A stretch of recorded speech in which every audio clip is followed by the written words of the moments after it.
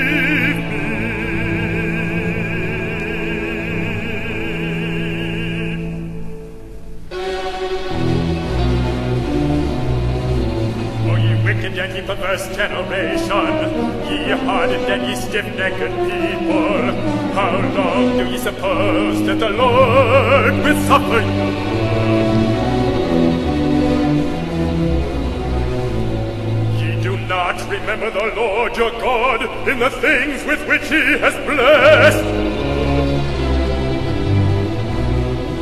But ye do always remember your riches. Yea, your hearts are not drawn out unto the Lord, but they do swell with great pride unto boasting, envying, strife, malice, persecution, and murder, and all manner of iniquity. For this hath the Lord caused that a curse should come upon the land, and also upon your riches. And in the day of your poverty, ye shall cry unto the Lord, but in vain shall ye cry,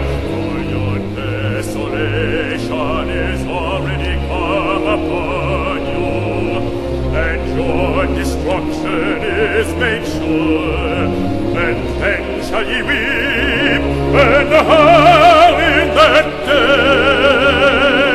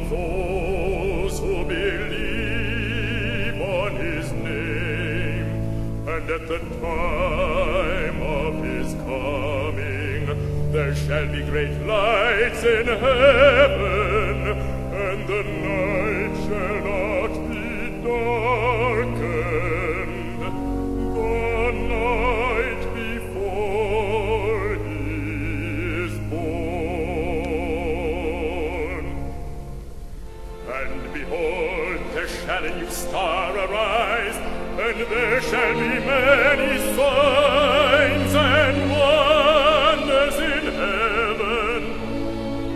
And ye shall all be amazed, and fall to the earth. And whosoever shall believe on the